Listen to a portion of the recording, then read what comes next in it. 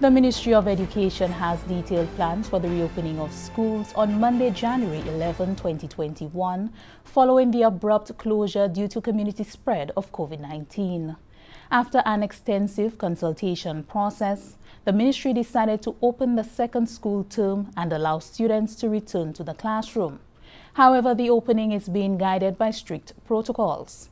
During this week, January 4 to 8, teachers are at their various schools for school term planning, meetings with the chief medical officer, and to receive psychosocial support facilitated through counselors.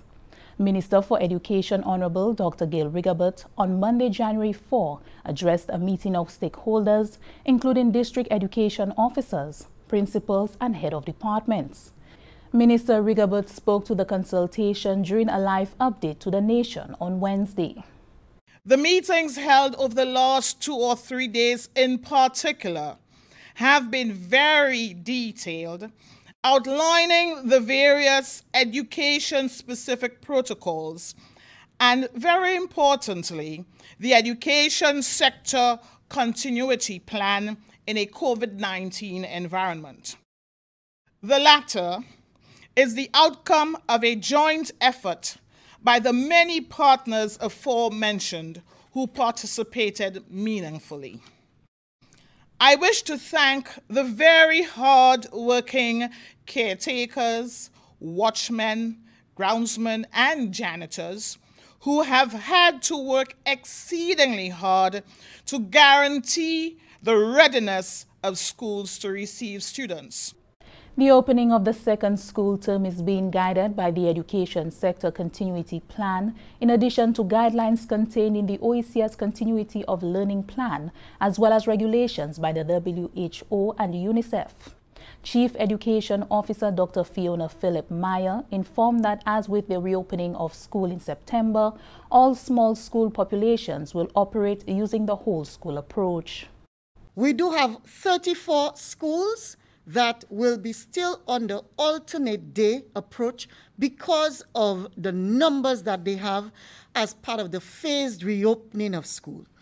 But what we've endeavored to do is to ensure that all of those students in those 34 alternate day schools get at least three days of face to face instruction, complemented by online presence and a virtual learning platform. So those individual schools will be contacted by the administration of the school as to the students and when they can come. Important for the public to note is that where possible, we have endeavored to ensure that all students of kindergarten, grade 6 and form 5 return for as many face-to-face -face days as per the cycle. And that I speak to in relation to those 34 schools. You would note that many of those are secondary schools. We have in District 7, for example, only one school, and in District 8, only one school in that category. But as compared to, say, District 2, that has very large school populations, we have more schools using that method of instruction. In the classroom, students will be seated three feet apart from each other. They are to wear face masks and or face shields. Chief Environmental Health Officer Paka Ragnanan says there will be mass breaks as determined by teachers. He outlined the other safety measures. We encourage that uh, hand sanitizers be placed at strategic locations throughout uh, the school, and therefore, indeed, assessments would have to be done to determine the best places to have uh, these sanitizers uh, located so that um, maximum use can begin from them. It is important uh, for surfaces, the buildings, the floors, the desk, the classrooms to be adequately cleaned and sanitized on a daily basis. So we expect uh, that there's going to be intermittent uh, disinfection that takes place.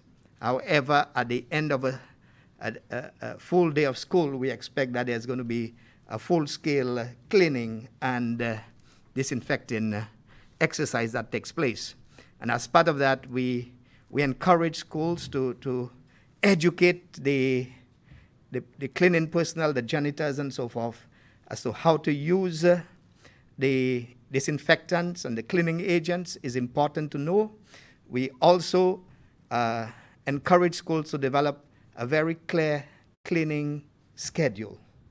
Who is to clean, where they're to clean, how it's to be cleaned, so that everybody is guided. Uh, and therefore, we have uh, an effective cleaning and uh, disinfecting exercise taking place within the schools.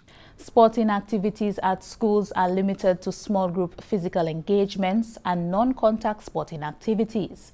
Additionally, mass crowd gatherings at schools are not allowed and students and school staff upon the return to school premises must adhere to the established protocols which include temperature checks, sanitizing of hands, physical distancing and the wearing of masks.